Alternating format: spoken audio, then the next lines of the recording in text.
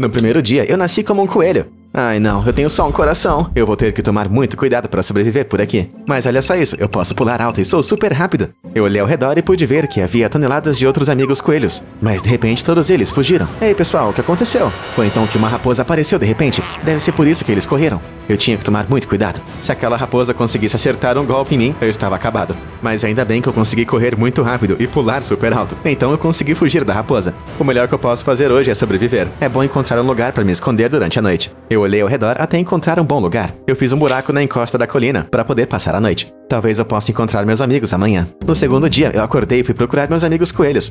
Mas quando cheguei onde eu nasci, eu não vi ninguém por perto. Para onde será que todo mundo foi? Eu não sabia por onde começar a procurar, mas de repente eu tive uma ideia. Se eu fizer uma casa de coelho super legal, talvez eles voltem. E para fazer uma casa legal, eu preciso de ferramentas. Então eu corri para a floresta para pegar suprimentos. Depois de um tempo, eu tinha o bastante para fazer as primeiras ferramentas. Eu fiz o máximo que eu pude, incluindo uma espada. Com novas ferramentas em mão, eu fui para mina pegar umas pedras. Mas de repente eu fui atacada por uma aranha. Ei, fica longe de mim! Eu tinha que tomar cuidado. Se eu levasse apenas um golpe, eu estava acabado. Ainda bem que eu consegui fazer essa espada. Caso contrário, eu não iria derrotá-la. Cara, essa foi por pouco. Eu preciso andar logo com isso. No terceiro dia, eu comecei a construir a minha nova base. Como os coelhos vivem no subsolo, eu pensei que seria legal construir vários túneis. Foi um trabalho duro, mas no fim, eu consegui terminar. Beleza, a base está pronta, mas eu não vejo nenhum coelho. Acho que eu vou procurar. Quando eu entrei na floresta, eu pude ouvir alguém à minha frente, em cima de uma árvore. Era um pequeno esquilo. Ei, o que tá acontecendo? Por que você tá em cima?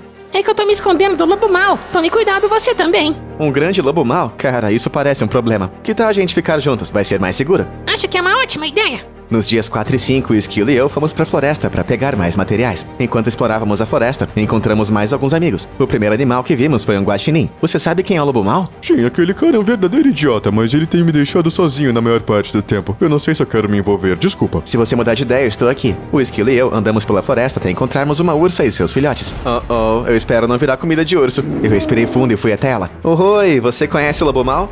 Sim, mas por que eu me importaria com aquele cara? Ele não me incomoda, eu não incomodo ele. E você parece apetitoso. Ah, muito obrigado por me contar isso. Eu falo com você mais tarde, tchau. O esquilo e eu vazamos. Eu que não queria virar comida de urso. Ao entrar mais fundo na floresta, começamos a derrubar algumas árvores. Ei, você! Eu me virei e olhei pra árvore. Lá em cima tinha um macaco me olhando. Ah, oi, e aí? Essa é minha árvore. O que você tá fazendo? Não corta ela. O macaco ficou bravo, mas eu só precisava de um pouquinho de madeira. Mas isso não importou pra ele, porque ele pulou e começou a atacar. Você vai pagar por isso. Ai não, se esse macaco me bater, eu já era. Mas então o esquilo pulou e me ajudou a sair. E juntos nós conseguimos lutar. O macaco não ia conseguir acabar com nós dois. E trabalhando juntos, nós conseguimos derrotá-lo. Foi mal, senhor macaco, eu não queria brigar com você, mas você não me deixou outra escolha. No sexto ao oitavo dia, o esquilo e eu continuamos pela floresta. Tudo estava indo muito bem. Conseguimos algumas vitórias e muitos suprimentos também. Até conseguimos encontrar outros animais. Mas enquanto eu vagava pela floresta, eu ouvi uma coisa assustadora. Ao me aproximar, eu vi a origem do ruído. Era uma raposa, e ele tinha um grupo de coelhos encurralados. Vocês não têm pra onde correr. Agora eu vou devorá-los. Ai não, eu não posso deixar meus amigos virarem jantar. Mas o que eu posso fazer? Eu não posso lutar contra eles sozinho. Foi quando eu lembrei que eu não estava sozinho. Eu tinha o meu amigo Esquilo comigo. Esquilo, vamos nessa! O Esquilo de repente começou a atacar. Ele nem esperou por mim. Espera, o que tá fazendo? Ah, um aperitivo. A raposa deu um golpe e o esquilo foi na hora derrotado. Não, meu amiguinho. Hum, parece que tem um acompanhamento aqui também. A raposa viu que eu estava ali, mas eu tinha que sair fora. Eu também não quero virar jantar de raposa. Desculpa, coelhinhos, mas eu não posso ajudar vocês. Eu saí correndo mais rápido que eu pude, direto pra minha toca. Eu não podia arriscar que ele descobrisse onde eu morava. Ou pior, que me devorasse. Eu vou ter que ajudar aqueles outros coelhos um outro dia. Eu me sinto mal por deixar aqueles coelhinhos para trás, mas o que eu posso fazer? Eu não sou forte o bastante. Nos dias 9 a 11, eu me senti mal por ter fugido aquela hora, mas eu não tinha como lutar. Mas enquanto eu corri pela floresta, eu encontrei uma vila abandonada. Olha só, um monte de cenouras! Eu juntei o máximo de cenouras que eu pude. Havia até um monte de trigo e abóboras também. Foi então que eu decidi passar a noite aqui na vila. Durante a noite eu acordei com um barulho muito estranho. Ai não, tem um monte de esqueletos lá fora. E agora? Eu corri para fora da casa com minha espada em mãos. Dessa vez eu não ia sair correndo, sem chance. Eu corri para fora da casa, balançando minha espada. Eu não tenho medo de vocês. Eu continuei atacando até que um por um, eles todos foram destruídos. Cara, é realmente aterrorizante lutar só com um coração. Mas eu me sinto melhor agora que eu ganhei. Mesmo vencendo a luta, eu estava com muito medo de voltar para a cama. Então eu passei o resto da noite olhando pela vila. Eu achei mais comida, assim como outros suprimentos. Eu até encontrei um estoque inteiro de ferro. Legal, agora eu posso começar a fazer uns equipamentos de ferro. Eu corri para a mesa de crafting e montei um peitoral de ferro e o equipei. No dia 12, eu saí da minha casa na aldeia e voltei para a floresta. Eu estava correndo quando vi uma cenoura no chão à minha frente. Olha, mas que sorte, uma cenoura. E ao continuar andando, percebi que havia mais cenouras ainda. Eu resolvi continuar pegando elas. Eu ia precisar do máximo possível. Mas então, quando eu peguei uma dessas cenouras, eu de repente caí por um alçapão. Uou! Eu caí dentro de uma sala e havia vários outros coelhos olhando pra mim. Ah, oi pessoal, o que tá acontecendo aqui? Você não parece com o lobo mau. Eu me virei e vi um grande coelho velho olhando pra mim. Não, senhor, eu não sou. O que tá acontecendo aqui? Ah, vejo que você é novo por aqui. Eu vou explicar. Durante anos a floresta foi um lugar bonito e tranquilo. Todos os animais estavam felizes, vivendo em harmonia e em paz. O lobo tentava nos caçar, mas sempre conseguíamos fugir. Mas então um dia algo mudou. O lobo havia descoberto um tipo de magia que ele usou para dar a si mesmo uma habilidade de camuflagem. De repente não podíamos mais nos esconder, porque não sabíamos quando ele iria atacar. E estamos nos escondendo desde então. Ah, não, como que a gente pode parar ele? Existe uma relíquia antiga, conhecida como óculos radicais, criada pelos nossos ancestrais coelhos. Suas peças foram espalhadas pela terra, mas se você as trouxer para mim, eu posso criá-las mais uma vez, para que você veja o lobo mesmo camuflado. Você acha que pode ajudar? Eu não sou muito forte, mas farei o meu melhor. Nos dias 13 a 15 eu cheguei de volta à minha base e fiz umas melhorias no interior. Depois eu saí e comecei a trabalhar numa plantação e plantei algumas cenouras que tinha recolhido. Não era muito, mas era um lugar para chamar de lar. Eu precisava de um pouco de areia, então fui pro deserto para coletar. Depois que eu peguei um monte, de repente um grupo de cascavéis veio deslizando atrás de mim. Oi, pessoal, posso ajudar? Elas apenas ficaram me encarando e atacaram. Ei, isso não é muito legal. Ainda bem que as mordidas não eram tão ruins, porque eu tinha apenas um coração. Eu consegui fugir dos ataques e derrotei todas elas. De repente, senti uma explosão de energia e me tornei num coelhinho assassino. E olha só, agora eu tenho cinco corações. Eu já me sinto muito melhor agora. Nos dias 16 a 19, eu decidi voltar pra base e fazer alguns ajustes, agora que eu fiquei maior e mais forte. Mais tarde, enquanto eu fazia minhas colheitas, eu vi um esquilo caminhando até minha base. Ei, eu tava procurando por você. Oi, tudo bem aí? Eu vi que você tava com a minha irmã quando a raposa atacou. Ela parecia confiar em você, então eu quero ajudar também, pela minha irmã. Qualquer ajuda é bem-vinda. E eu sinto muito pelo que aconteceu. Eu tô bem mais forte agora. Eu não vou correr mais de nada. Em seguida, partimos para fazer mais melhorias na base. O nome do esquilo era Rocky e ele ficou feliz em ajudar. Depois que nós atualizamos a base, ele me puxou pro lado para um bate-papo. Obrigado de novo por me ajudar, Zozó. Eu tive uma ótima ideia. Precisamos construir uma coisa para dizer aos outros coelhos que aqui é seguro. Ah, e eu já sei até o que fazer, mas vamos precisar de muito laranja. Corremos para um campo de flores e começamos a trabalhar, pegando o máximo de tulipas laranja que podemos encontrar para fazer a tinta. Nos dias 20 a 22, voltamos para a nossa base, mas antes que a gente chegasse, a raposa apareceu. Ah, o coelho que escapou. Agora eu vou te pegar. Você não vai machucar mais ninguém. Eu pulei pra batalha e comecei a atacar a raposa com a minha espada. O Rocky também começou a lutar. Com minha força nova, a raposa não teve nenhuma chance. E nós derrotamos ele facilmente. Mandou bem, Rocky. Mas como que ele encontrou a base? Eu não sei. A única coisa que eu consigo pensar é que ele deve ter me seguido até aqui. Me desculpe por isso. Tudo bem, mas agora que eu lembrei, precisamos das partes para aqueles óculos especiais. Você faz alguma ideia de onde podemos procurar? Eu tenho algumas ideias, mas antes disso precisamos de algumas atualizações. Nos dias 23 a 26, eu tava no subsolo procurando recursos. Felizmente para mim, eu consegui achar bastante ferro, assim como um pouco de carvão. Era bem o que eu precisava. Agora eu posso acabar a minha armadura de ferro. Eu peguei um pouco da pedra que eu coletei e usei para fazer uma fornalha. Depois eu fundi o ferro com carvão para fazer barras de ferro. Quando as barras ficaram prontas, eu usei elas para fazer ferramentas de ferro, incluindo uma espada de ferro também. E o resto eu usei para criar armadura de ferro. Agora sim eu tô forte. Eu decidi continuar olhando a caverna, quando de repente encontrei um grupo de zumbis. Tentem lutar comigo agora, seus sem cérebro. Eles davam bastante dano, mas não eram pares pro meu novo equipamento. Eu balancei a espada e consegui derrotar todos eles. Eu continuei descendo pelo túnel quando de repente uma aranha caiu do teto. Ah, credo, aranhas são nojentas. Quando a aranha começou a atacar, eu revidei com minha espada. Ela conseguiu dar umas mordidas, mas não era o bastante para minha armadura. E logo eu derrotei ela. Eu me pergunto o que será que tem no final desse túnel. Mais à frente eu consegui ver um brilho à distância. O que poderia ser? Eu entrei numa grande sala aberta e. O que é isso? Ei, até que é uma boa ideia, não é? Se você gosta dessas aventuras, tanto quanto eu, então deixe o like e se inscreva no canal. Assim você nunca vai perder nada. Nos dias 27 a 31, Rock e eu começamos a busca pelo primeiro item que precisávamos para os óculos. Havia um barulho à frente, quando de repente um lobo pulou em cima de uma pedra na nossa frente. Uh, um coelhinho delicioso. O grande lobo mau não vai se importar se eu devorar você.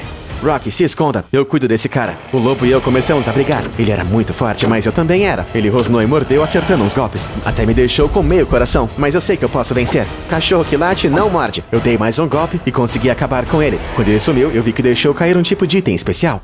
O que é isso? Eu peguei e vi que era uma vara de fogo. Olha, legal. O que será que isso faz? Mais tarde eu tava andando pela água quando um crocodilo apareceu e começou a atacar. Eu balancei a minha vara de fogo e na hora ele começou a pegar fogo. É, dizem que no Mato Grosso do Sul as pessoas comem crocodilo. Ele entrou em pânico e pulou de volta na água. É, agora você pensa duas vezes antes de mexer comigo. Nos dias 32 a 35, Rock e eu chegamos em Badlands. Rock me disse que tinha visto uma coisa estranha na área e achou que valia a pena conferir. Quando viramos uma esquina, eu vi uma placa muito estranha. Deixa a água te levantar. O que isso quer dizer? Tinha uma alavanca próxima, então eu puxei ela e nada aconteceu. O que acontece quando você pula na água? O Rock pulou na água, mas não aconteceu nada. Eu não acho que seja isso. Vamos tentar apertar esses botões. Assim que Rock apertou um dos botões, uma flecha veio em direção a ele, passando bem por cima da cabeça. Eita, acho que não era esse. Vamos tentar esse daqui então. Meio apreensivo, eu estendi a mão e apertei o botão. E um pouco de pó de redstone apareceu. Coloca a poeira aqui pra completar o circuito. Eu fui até Rock e larguei o pó de redstone. Então eu virei o interruptor. Dessa vez, a água começou a descer. É, parece que deu certo. Eu pulei na coluna de água e nadei até o topo. E assim que eu cheguei lá em cima, eu vi que tinha um baú. E dentro do baú havia alguns blocos de tijolos diferentes. E glowstone. Hum, não era bem o que eu estava esperando. Zuzu, olha aqui em cima. Eu segui Rock por mais escadas e vi umas armações de óculos no topo. É bem isso que nós estávamos procurando. A primeira peça. O coelho ancião vai ficar muito animado em ver isso. Nos dias 36 a 39, Rock e eu voltamos para nossa base. Primeiro de tudo, eu precisava craftar uma cerca nova. Não posso arriscar mais um ataque da gangue do Lobo Mal. Ou pior, ele mesmo. Usando um pouco do tijolo, consegui fazer uma bela cerca de perímetro. E assim que terminamos, Rock e eu começamos a trabalhar para fazer a sua casa. Obrigado por toda a ajuda, Rock. Vai ser muito bom você ter o seu próprio lugar. Estou feliz por estar aqui. Vamos fazer um curral e pegar umas ovelhas. Assim podemos trabalhar na estátua. Boa ideia! Rock e eu fomos para a floresta e encontramos um rebanho de ovelhas. Usando guias, nós as amarramos e levamos para sua nova casa. Com todas seguras, eu peguei um pouco de tinta e comecei a pintar todas as ovelhas de laranja. Com certeza é melhor do que virar jantar, não é mesmo? Eu fui em frente e tosei todas as ovelhas, pegando todo o seu pelo laranja. Depois, Rock e eu fomos encontrar um bom lugar para construir. Depois de achar o lugar perfeito, começamos limpando todo o local. Fizemos a fundação e depois o começo da estátua. E depois de um tempo, terminamos a primeira parte. Bom trabalho, Rock. Acho que podemos dar um tempo agora. Enquanto desmontava os andaimes, um grupo de papagaios se aproximou da gente. Ei, ei, você é um coelho. Deve estar contra o lobo mau, então. Você está correto. Tudo bem?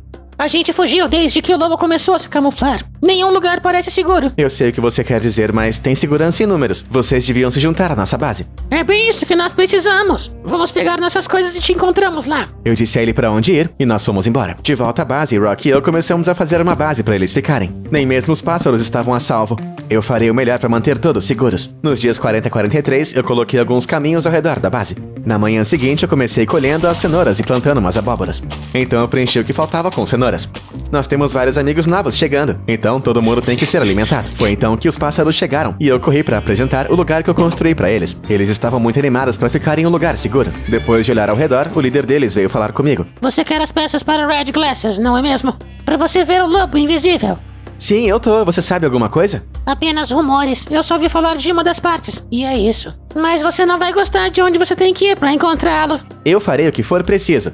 Nos dias 44 a 49, eu me preparei para deixar a minha base para o novo local. É bom você ficar por aqui, Rock. Não vai ser um bom lugar para um esquilo como você. Rock concordou e disse que ia continuar trabalhando na base. Depois de uma longa jornada, eu finalmente cheguei na área que o papagaio falou. Ai, cara, tá muito frio aqui. Não é à toa que eles disseram que eu não ia gostar. Foi então que me deparei com um iglu abandonado. Vai ser um ótimo lugar para parar e descansar um pouco. Mas assim que eu saí do iglu, um leopardo de repente começou a me atacar. Uou, de onde você veio? Era um leopardo da neve e ele era cruel com presas gigantes e garras poderosas. Deve ser uma armadilha que ele fez. Eu nunca vou deixar o lobo e seus aliados vencerem. Balancei a espada com toda a força e acabei com ele. Ainda bem que eu atualizei todo o meu equipamento antes de sair, senão eu ia virar ensopado de coelho. Nos dias 50 a 53, eu finalmente consegui sair do frio e cheguei no lugar que o papagaio falou. Ao caminhar até a torre, eu vi que havia dois lobos montando guarda. Oi, eu posso entrar? Não. É, o papo foi bom. Eu não sei nem por que eu perguntei, são lobos. É claro que eles vão começar a atacar. Esse lobo era apenas um guarda júnior, então eu acabei com ele, facinho. E você também não vai ficar no meu caminho. Eu também comecei a atacar o outro guarda. Ele não era muito forte e não durou muito tempo. Beleza, de volta ao assunto. Eu fui até o topo da torre, mas havia um outro lobo apenas esperando por mim. E era bem mais forte. Mas usando a vara de fogo, eu consegui incendiar ele e eventualmente acabar com ele, perdendo quase minha vida no processo. Oi, você pode ajudar?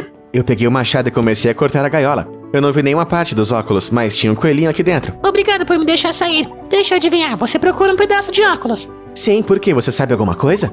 Eu também tava procurando, mas acho que foi movido por algum tipo de masmorra longe daqui. Pelo menos foi o que eu ouvi eles dizendo. Ah, é numa direção totalmente oposta. Pelo menos eu posso passar pela minha base. Você pode se juntar se quiser. Ele concordou e voltamos para a minha base. Nos dias 54 a 57, o coelhinho e eu voltamos para a base, que estava totalmente em chamas. Ah, não. O que tá acontecendo? Ao me aproximar, eu vi que a base foi atacada por uma matilha de lobos. E fora da base eu consegui ver o lobo mau. Ele estava dando ordens aos seus homens. A gangue de lobos entrou na base e reuniu todos os papagaios. Eles eram prisioneiros agora. Eu não tinha os óculos ainda, mas eu tinha que fazer alguma coisa. Eu corri pra base com a espada na mão e os lobos atacaram. Sai fora da minha casa, a gente não quer nada com vocês. Um por um eu acabei com todos os lobos. E não demorou para que o único que restasse fosse o grande lobo mau. Você vai pagar por isso. Eu comecei a correr para atacar o lobo mau. Eu dei um salto no ar quando de repente ele desapareceu. Ah, seu covarde, eu vou te encontrar. Nos cinco dias seguintes, eu tive que dar uma olhada para ver todos os danos. Eu não creio que eu não consegui deixar todos seguros. Enquanto eu andava, pude ver que todos tinham ido embora. Foi quando eu ouvi um barulho debaixo da mesa. Rocky, o que tá fazendo aí embaixo da mesa? Zozô, eu tava com tanto medo, mas é tudo culpa minha. Eu disse aos lobos onde era a base. Ele capturou o meu amigo Esquilo e disse que machucaria se eu não dissesse pra onde ir. Rock, você devia ter me contado, a gente podia ter resgatado ele. Eu sei, me desculpa. No final, ele não deixou meu amigo ir embora, apenas levou todos os nossos novos amigos. Você pode me perdoar. Eu me senti mal por Rock. Dá pra ver que ele sentia muito. Eu entendo. Eu sei que você só queria ajudar o seu amigo. A gente vai dar um jeito nisso. Mas enquanto isso, a gente precisa de suprimentos pra construir a base de novo. De lá, eu fui pras minas e consegui encontrar bastante ferro, assim como ouro e carvão. Eu fundi todo o ferro e usei pra fazer barras de ferro. Depois eu fui até o rio pra pegar bastante barro e usei argila pra fazer tijolos. Finalmente eu saí e substituí a cerca por barras de ferro, e também reparei todos os buracos que eu encontrei. Demorou um pouco, mas logo nossas defesas estavam prontas. Acho que os lobos vão ter um trabalho para quebrar isso aqui de novo. Nos quatro dias seguintes, eu disse ao Coelho e ao Rocky para ficarem na base, enquanto eu saía pra masmorra. Pode ser perigoso e eu não queria perder mais nenhum amigo. A viagem foi muito longa e eu passei por todo tipo de terreno. Ao passar por uma montanha, eu vi um lobo ao longe, bem quando ele estava acabando com o bebê elefante. Era o grande lobo mau. O que você fez? eu corri até o lobo, mas ele desapareceu de novo. Que tipo de monstro atacaria um elefante inocente? Enquanto eu olhava o pequeno elefante, a mãe dele chegou da colina. O que você fez com meu bebê? Não, não, não fui eu, foi o grande lobo mau. Ela não se importou e começou a me atacar. Eu dei alguns golpes para afastar ela e tentei explicar, mas ela não me escutava. Minha única opção era tentar fugir o mais rápido que eu pude. Nos dias 67 a 70, eu pude ver a entrada da caverna à frente. Parecia realmente escuro e assustador. Acho que é isso. Quem sabe o que está esperando por mim lá dentro. Assim que eu entrei na caverna, eu logo descobri. Esperando por mim tinha um grupo de esqueletos. Por que vocês são tão assustadores? Os esqueletos deram espadadas e atiraram suas flechas enquanto eu pulava, acertando eles também. Eles me deram alguns golpes, mas eu consegui acabar com todos. Eu fui mais fundo na caverna e vi um spawner. Deixa eu cuidar disso aqui. Não dá pra ficar lutando pro resto da minha vida. Nos quatro dias seguintes, eu fui mais fundo nas minas quando vi alguns diamantes. Você não faz ideia do quão eles vão ser úteis. Eu rapidamente fiz uma ponte para atravessar, quando de repente a parede explodiu e um piglin zumbi veio para cima de mim. Uou! Eu rapidamente puxei a vara de fogo e acendi ela. Ele pegou fogo, mas minha vara de fogo quebrou. Ai não, ele é muito forte. Eu fiquei balançando a espada enquanto minha vida caía, finalmente acabando com ele. Foi quando eu vi que ele dropou alguma coisa e eu peguei. O martelo de diamante é muito poderoso e ele também apareceu na hora certa. Animado com minha nova arma, eu fui de volta para os diamantes e coletei tudo com cuidado para não derrubar na lava. Com os diamantes em mãos, eu fiz uma mesa de trabalho e fiz algumas calças de diamantes para substituir as de ferro. Talvez eu possa sair dessa, afinal de contas. Nos quatro dias seguintes, eu finalmente cheguei a uma grande sala vazia. Tinha um baú do outro lado também. Olá, parece que não tem nada aqui. Eu caminhei até o baú, quando de repente eu escutei um baque atrás de mim. Eu me virei e vi uma aranha gigante caindo do teto. Ah! ah, oi, tudo bem? Você se importa se eu pegar o baú e sair fora? Você deseja, coelhinho. Você não vai sair daqui vivo. Eu achei que você fosse dizer isso. Foi então que a aranha saltou pra frente e começou a atacar. Eu acertei ela, mas ela começou a tirar as suas teias em mim. Ai não, isso não vai ser tão fácil quanto eu esperava. Parece que é hora de pegar o meu próprio pé de coelho da sorte. Ei, não é legal dizer isso. A aranha correu para me atacar, mas eu estava pronto. Eu pulei para fora do caminho e ela caiu na piscina de lava. Eu vou manter os meus pés, obrigado. Foi então que eu senti uma energia através de mim e eu subi de nível para um Buffman. E olha só, agora eu tenho 10 corações também. Eu fui até o baú e abri ele. Dentro estavam as lentes dos óculos que eu precisava, junto com um monte de diamantes. Mal posso esperar para ver o que o coelho ancião vai fazer com isso. Nos seis dias seguintes, eu cheguei na casa do coelho ancião. Eu consegui tudo que o senhor precisa para fazer os óculos radicais. Zozo, muito bem, muito bem. É exatamente o que precisávamos. O coelho ancião virou-se rapidamente para sua mesa encantadora e montou os óculos, imbuindo com um poder especial. Ele virou e jogou eles para mim. Pegue eles e se apresse. Você é a esperança de todos os coelhos. Sabemos que você vai conseguir. Obrigado, eu vou fazer tudo o que eu posso. Eu me virei e saí da casa. Hora de me preparar para a luta final. Nos cinco dias seguintes, eu voltei pra base e vi que o Coelho e o Rocky fizeram um ótimo trabalho com a base. Ficou muito melhor. Bom trabalho, pessoal. Esse lugar está incrível. Obrigado, Zozô. Muitas criaturas também ajudaram. Então construímos um lugar para todos. Eles não estão com medo? Sim, mas acreditam em você e sabem que esse é o lugar mais seguro para estarem. É, eu espero. Isso me lembrou que a gente tem que terminar o nosso projeto. Pode haver mais criaturas por aí. Rocky e eu voltamos pra estátua para finalmente terminar ela. Essa cenoura vai ser gigantesca e todos os animais vão saber que esse é um lugar seguro. E não demorou para que finalmente terminássemos. Agora vamos nos preparar. Temos que acabar com um certo lobo. Nos dias 90 e 94, eu estava de volta à base montando umas armaduras de diamante, com os diamantes que eu encontrei na masmorra, assim como outros que Rocky encontrou na caverna. É bom verificar o baú também. Rocky disse que tinha umas coisas. Eu abri o baú e vi que estava cheio de poções de cura. Eu peguei todas e adicionei elas no meu inventário. Eu tô muito animado, vamos caçar alguns lobos. Nos dias 95 e 96 eu corri pela terra em direção à base do lobo. Não demorou muito para que eu chegasse até um rio. A base do lobo deveria ser seguindo o rio, então eu derrubei uma árvore próxima e fiz um barco. Enquanto eu remava rio abaixo, eu encontrei uma floresta densa, e não demorou muito até encontrar o primeiro lobo. Ei, deixa esse gato em paz. Eu corri pra praia e comecei a atacar, salvando aquele gato. Obrigada. Pensei que ia perder uma de minhas vidas. Sem problemas, que bom que você está bem. Você é tão gentil. Aqui, siga-me. Eu vi uma coisa que vai ser útil para você. A gata saiu pras árvores enquanto eu seguia logo atrás. Logo chegamos a um pequeno prédio de pedra coberto de teias de aranha. Eu cortei as teias e abri o baú.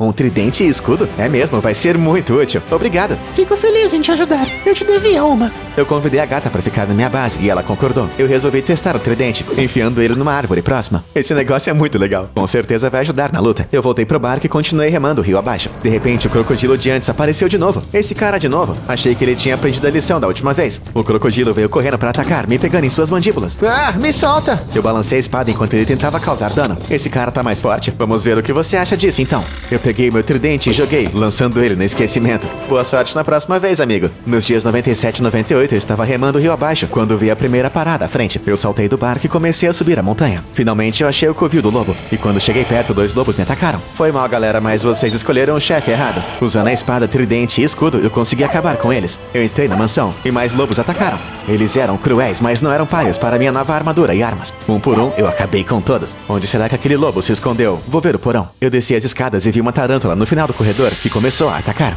Ah, por que tantas aranhas? A tarântula conseguiu me furar com seu ferrão que me envenenou. Eu tava tomando dano, então tinha que ser rápido. Por sorte, eu consegui acabar com ela. E o veneno acabou. Vamos tentar mais para cima. Quando eu cheguei no segundo andar, mais guardas-lobos vieram atacar. Dá pra dizer que eles se achavam os fortões, mas não serão páreos para mim. Acho que não eram cachorros muito espertos. E eu consegui acabar com os dois.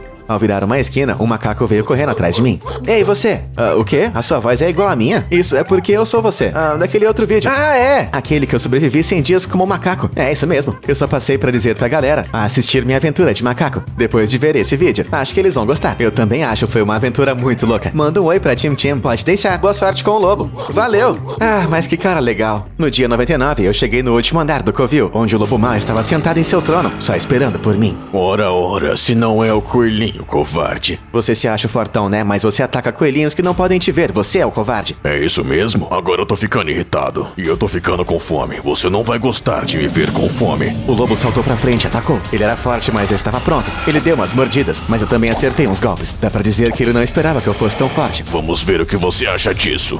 Ele começou a invocar uns lobos menores e eu consegui facilmente acabar com eles. Então eu acertei o lobo com minha espada, fazendo ele recuar. Mas que covarde, se escondendo atrás de outros lobos. Eu não sou covarde, eu sou poderoso. Chega de jogos, eu vou acabar com isso. De repente ele desapareceu e começou a atacar. Você ficou invisível, você só provou que eu tô certo. Ele reapareceu no trono.